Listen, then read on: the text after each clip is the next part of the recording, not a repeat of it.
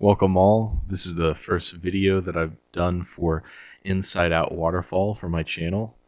Uh, the point of the channel is to find the best you that you can be and better yourself through knowledge and uh, the experiences I've had. Um, hopefully, I can share some insight on things. And for each video, I want to talk about um, how to become a better person, uh, how to become better socially, uh, and try to understand this thing we call life. I, I'm not sure that we ever truly will, but there are ways that we can approach it that will give us a better way to manage our lives in relationships and the different aspects of our lives. So, what I've done is I've pulled a chart from the internet. It is uh, the aspects of life.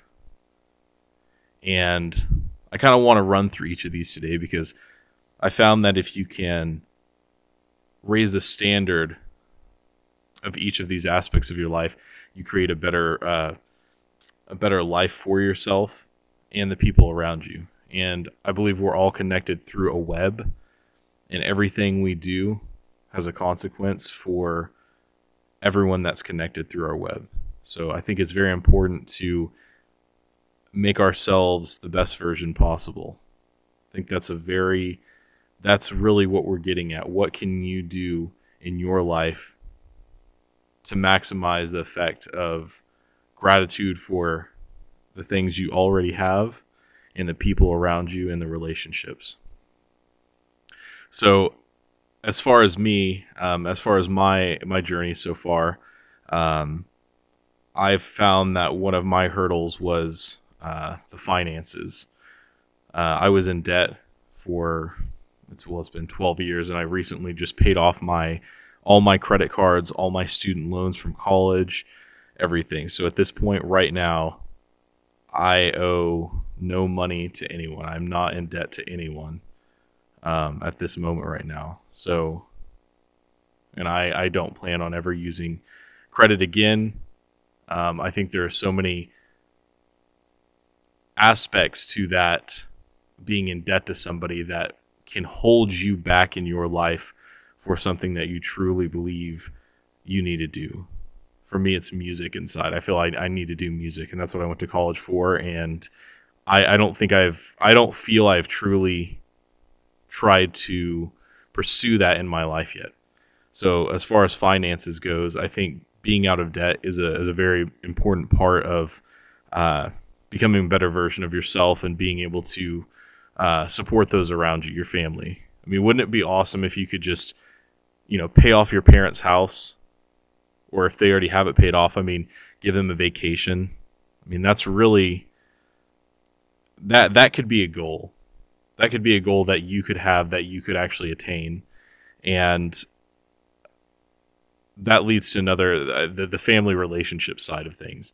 Um, we can jump to that uh, bubble, that circle, and I feel if you have your act together if you can get things done in your life and manage your house, manage um, if you have a girlfriend or boyfriend, if you can manage that relationship, which we'll get into in a minute, um, and you have everything in your life order in in order, and you're honest and truthful, and you don't lie about things, and you really want to elevate yourself, the web of people that you have that are connected to you will they will feel that on some level. There will be some effects to that that you cannot grasp at this moment.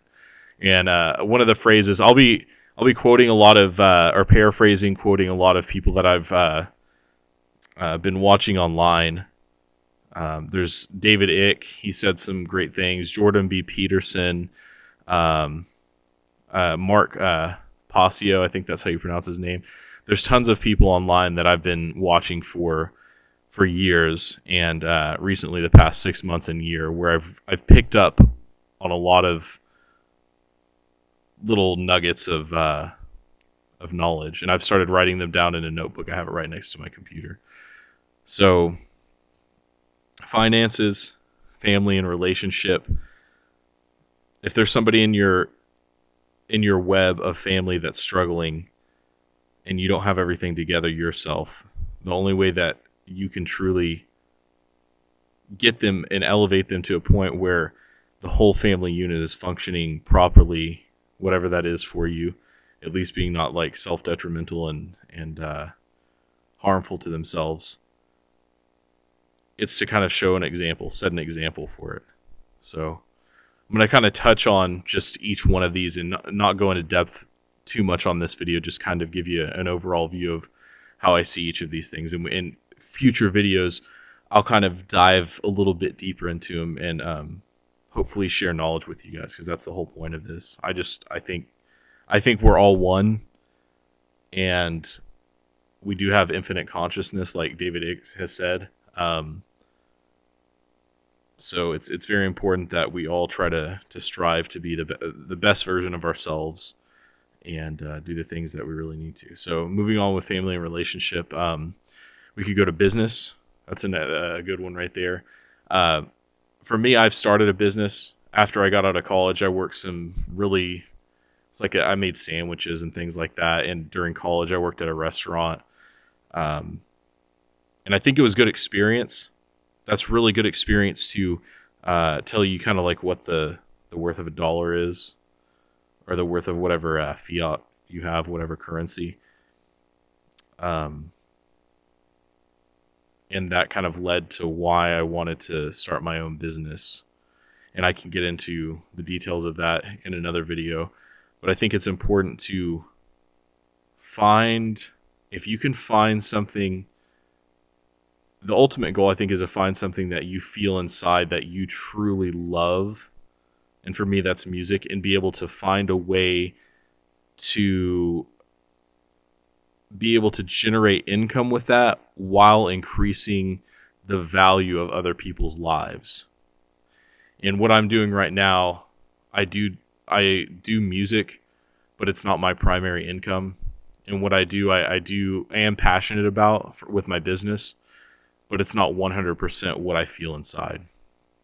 So if you can find something you might have to do some soul searching or it may have been there your entire life like how it has been with me. I've always known i wanted to do music ever since i was a first thoughts when i first had uh, instruments in my I, my grasp. So whatever that is for you if it's working out if it's uh, if it's trying to encourage people to do you know like as a life coach or if it's you know it or you know cutting cutting edge technology or if it's you know you want to be a stay-at-home mom and you feel that is what you're best at you know the, anything you can think of. It's something you feel inside that always comes back even if you venture off into another uh, another uh, business or another avenue that you think will gener- generate income that you think you love. And then you after that fails or after you don't want to do it anymore or after it grows sour you always go back to this one thing. And for me, it's music. And I know I need to do that. And so this is why it's important to get your finances in order and get everything in order, get your relationships, you know, raise the standard of your relationships. So, yeah, as far as business, that's kind of where I've been with that. Um, and I, I, can dive into that on another video, like I, I will with every other bubble. The health and fitness. I, when I was younger, I did have a six pack for, I think it was maybe maybe three months, three, four months when I was in high school. And ever since then, you know how they say that the I think it's a freshman 15. Yeah, it was freshman 15 and it just kept going and going and going. And this year, I think it was it, it might have been at the end of last year or the first of this year, 2018. I stepped on the scale and I did not like what I what I saw. It was bad. It was the highest weight I have ever been. Um, and my heart started hurting. I started feeling a little bit of like my maybe arteries were clogged or something. I went on a binge of Postmates at the I think it was in was it March or May and I looked at how much I spent on Postmates having that delivered while I was working and not being happy with just not getting things in order and not being responsible. And I could not believe the amount of money I spent on that. Um, and one day I just woke up from it. I started educating myself online, kind of like what I'm trying to do right now to to help you guys. You know, I, I just this is I feel it's important for other people in my situation. I'm I'm 30 years old, and I I wish I could have learned this when I was, you know, 23, 24. But that's kind of that's life, you know. You pass the knowledge on to other people and hopefully they can get a head start on it and get things going. Um, so as far as the education and career that I, went to college for two years, uh, that was I, I don't necessarily think everyone needs to go to college.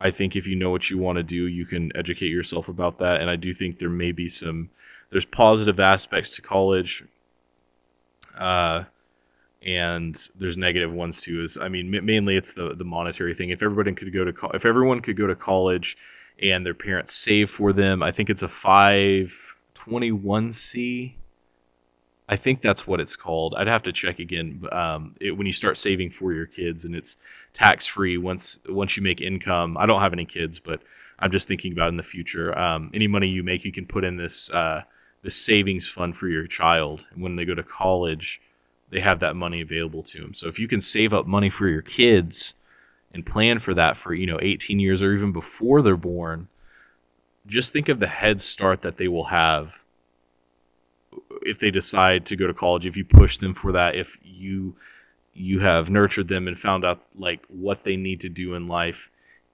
would benefit from going to college. Um, so I, that's a very, it's looking ahead, it's planning. And that kind of comes to uh, the top of this chart that you guys can see the personal thing, the planning. What are your goals? People, I'm sure you've heard about goals. I you you had to have heard about goals. Um, if you're not, if you don't put out your intent into the universe and say what you're going to do and write it down, if you don't do that, things will not come to you. You the the the opportunities and the frequencies of how people perceive what you want will not come your way. So we have to have a very clear goal. And this is something that it's it's really it's really uh, something I was struggling with, and I made a few goals, and the things that needed to come into my life and the people I surrounded myself with for these small goals, like running a 5K. I did that, and the ideas popped in my. What do I need to do? Oh, I need to, of course, eat better well, how do I eat better? Okay, well, maybe I buy organic food. Maybe that's one way to do it. Maybe I start cooking more instead of doing the Postmates thing and going to eat out and saying, okay, guys, yeah, let's let's go, you know, Taco Tuesday or something. Or yeah, I'll eat out like seven times this week. It doesn't matter, and I'll go get a burrito in the morning, and you know, with the good sauce and everything, it made me feel good, or I thought it did, you know. And then I started cooking more at home. So the goals that we set have a vast amount if they're good goals, if they're attainable goals, and we the short term and long term medium goals, we can talk about that later on other videos. If we set these type of goals up, it will improve other aspects of our life because it's a necessity to attain that goal. So the, the, the whole point is to raise the standards in all aspects in a, a gradual, consistent basis, a consistent way of of improving all these aspects. Because what I've found if you spearhead one of these or if you push way outside of one, the other aspects of your life start to diminish or they'll, they'll stay the same or they'll start to diminish and your relationships will start to fail, they'll start to suffer, your business might suffer if you're not focusing on that if you're just doing too much of like the leisure and recreation aspect and it's not a good thing. And i'm sure you've heard the work life balance scenario before or the the term and this is very important. It's something i didn't learn. I, when i was with other girlfriends they would always say that and they uh, at their works uh, in their careers they would always tell them uh, the bosses in like the the betterment programs they would say you know let's find a, a good work life balance so you can have that good relationship at home or, or with with your husband or your wife or or whoever it is you know with your family and being able to do things. All and they're talking about all the aspects of life. And in this scenario there's eight of them there's other charts that have more um, but these are the these are the fundamental uh, kind of overshadowing aspects of your life so in the personal aspect i think it's very important important to to set the goals of what you want to achieve and it, I found it difficult because what do you want? What do you really want? I had to ask myself that, and I still I, I started trying to come up with these ideas. Oh, I want this like house that's like three hundred thousand dollars because I saw one when uh, going out doing my job, and I and I found this house, and I thought it was really cool. The design of it, the location, the elevation of the house, just the the whole setup. And I said, yeah, that would be nice to have that. And then I it kind of faded away, and I'm like, well, why did that fade away? I must not must not really want that, and I, I don't think I do. I, at this point, I don't really want that. Like, I think there's other aspects of the life that I need to bring up first before I start thinking about buying a three hundred thousand dollar house on my own and and paying cash for it. That was the other thing because I got out of debt. I, I don't want to get a mortgage, so that ties back to business. How am I gonna how am I gonna raise the standard of making more money to get to a point where I, I pay cash for everything? The next car that I buy, it's gonna be cash. It's not gonna be credit. And everyone in my life, everyone that I can think of that I've talked to, oh, you gotta you gotta watch out for your credit score. You gotta make sure you gotta have a good credit score. And I've gotten so much advice. Oh yeah, on your your credit cards, you got to make sure you have like you know a balance on it like 10% of your total amount that you can leverage or borrow and you know you pay it off every month well what i see is that's just a big game it's just a it's a big game with this negativity web that we can get into other videos when we actually zoom out of the entire situation. We can perceive these plans and these ideas that that not everyone in society depending on where you which country you reside has grasp on what they can what they can actually grasp um, so I, the closest thing I could relate that to for right now without getting into I do have notes on this would be when an astronaut goes into space when they get on a spaceship they go into orbit and they can see the entirety of Earth from that one perspective. Of course, they can't see, you know, behind the Earth from their their perspective, but they see it all in one viewing in person. And what the astronauts have said when they come back to Earth, they feel a better understanding of their environment and of the people. And they, they it's like they get it, you know, because you can see it all in one perspective in one one shot, one view. So that's the that's the kind of point or the idea that we want to get to with all of these aspects in our life, and it, it goes even beyond that. Um, but we won't get into that right now. I just I, I want to introduce all these things to you and get your mind thinking about it, and ha- and you can and go in and investigate other videos, and I can I'll put um, in the in the description I'll put some links or some people's names that I talk about, like the Jordan Peters, Jordan B. Peterson. He really helps with uh, you know improving yourself and just like thinking about relationships and questioning things and all that. Um, and so we can move on to the spiritual aspect. Spiritual aspect. For me, what has helped is the eating, the health and fitness kind of ties into uh, this close closer than the other ones. Meditation, stretching, doing proper stretches, and that's something I found videos that I can share with you guys that really, really helped me. I mean, it just the other day I was working on my computer, and I had to. I felt like I was kind of white knuckling, you know, like just squeezing my my fists or my, my fingers together and everything. And I'm like, what is going on? Like, oh yeah, I didn't stretch today. I didn't take that time in the morning, the 10, 20, 30 minutes, however long, whichever uh, routine you have set up for yourself. I didn't take that time and stretch and, and breathe deep, way down. and I was feeling it while I was working, like all the the stresses from the day just caught up, you know. So I think that's uh, some kind of it ties in with the health and fitness, but the spirituality of of uh, your consciousness. If you're religious, I it, it, it's it's a big topic right there. Like I, you could be you know a Christian, a Muslim, a Catholic. I think when we get down to it, I think what it is, it's all the same kind of like energy. I think that we all are one. We all have a consciousness.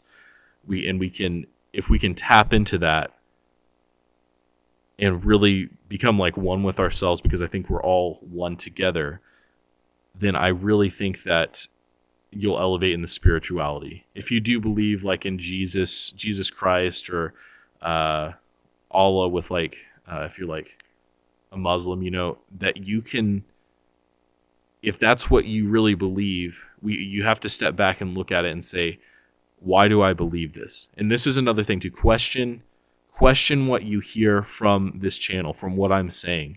Question it and say, does this apply? Why am I why is he saying this? Is this from his experiences? Well, yes, of course. Can you apply that to your situation and understand the the, the meaning behind it? Because I want to tell you guys things that will make you want to dive deeper into understanding what we are. Like who are you? Like if somebody comes up on the street and says like, "Who are you?" What are you gonna say? Are you gonna say I'm I'm black, a black human, or I'm a black person that works at this? I'm a white guy that works here. Like what what is what is your perception of yourself? And that's what you can get into with the personal and spiritual side of it. Like what how do you perceive yourself? Do you have preconceived notions, preconceived ideas? And for me, getting rid of those helps dramatically. I, I, I have these things pop in my head like, how do these people see me? And it makes me act different than I think what is like inside my core or what I think I want to accomplish in life or what I'm here to do like why why I'm here you know that's a big question why are we here we don't know but these all these aspects help us understand and and it always goes back to for me being kind in that in the sense that there, there's this thing that Jordan B. Peterson talks about, which a lot of people know. It's not just him, but he introduced it to me. Game theory, and it's called tit for tat. So kind of going back and forth between two people, like giving someone the benefit of the doubt kind of thing, like in a business or if they have business dealings. If someone's running late to something and it's the first time you've you're trying to do business with them or something, they're running late. The person that hired them could say, Oh yeah, I get it. You know, that's the first time everybody has that, whatever, it's fine. So they're giving them a pass on it. Or they could say, Well, since they messed up, I'm going to act angry and say, oh, never going to use them again. And it's done. It's completely done.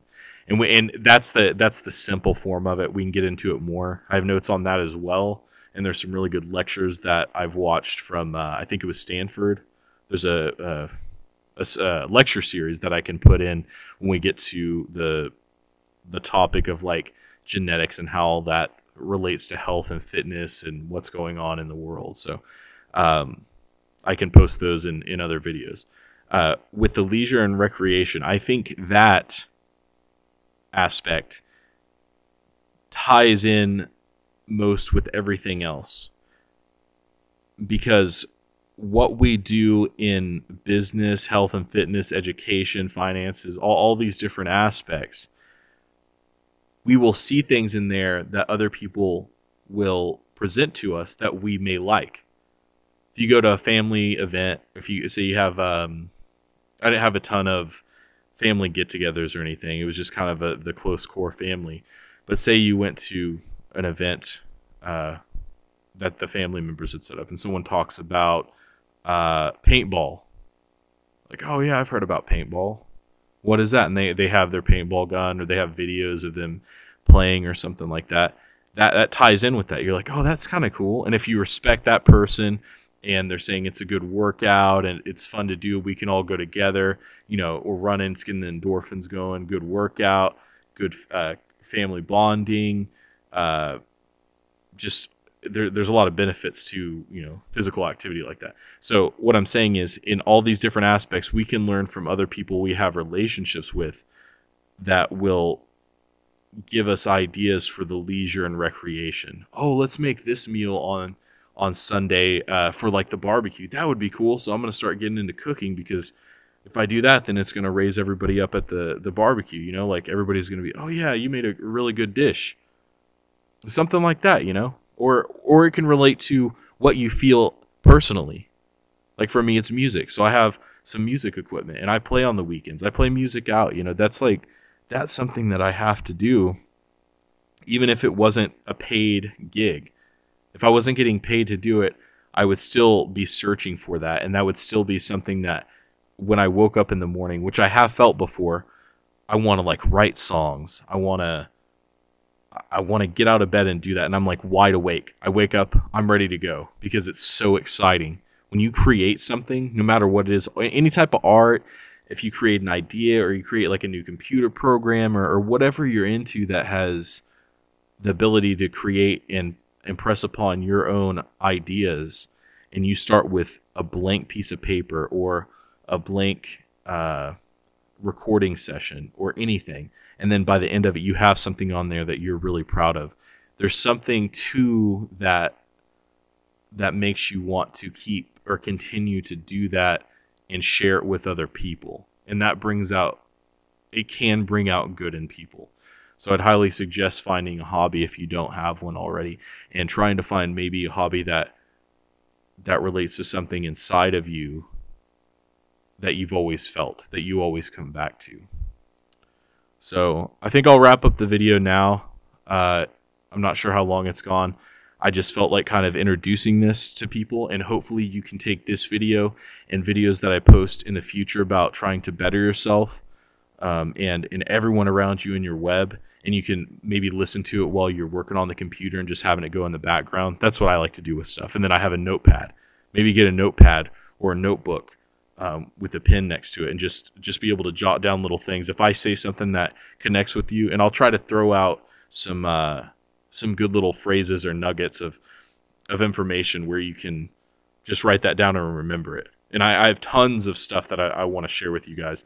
I, I may have given you guys a few things there that you can write down I just wanted to hit on each of those right now and hopefully give you some ideas and know that you guys can do anything you set your mind to.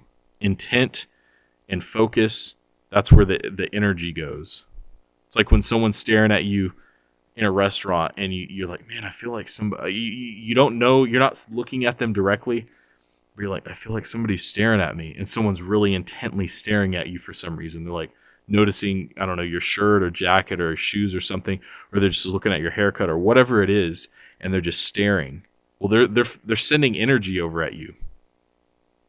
So you're feeling that. So the intent that we have, the things that we're thinking about, the vibe that we give off, to give you know just a, a simple term besides like energy and these electromagnetic fields that our body actually scientifically proven to give off, like we give off energy and we have like a little bubble around us kind of that we we don't really see but some people say they can. That interacts with other people. So whatever your mindset is you guys can do it. And we'll talk about we'll talk about goals and things i've done and things that i've actually accomplished in some other videos. But as of right now thank you guys for listening to the very first video of uh, inside out waterfall and i will talk to you guys later all right, keep it real. Peace.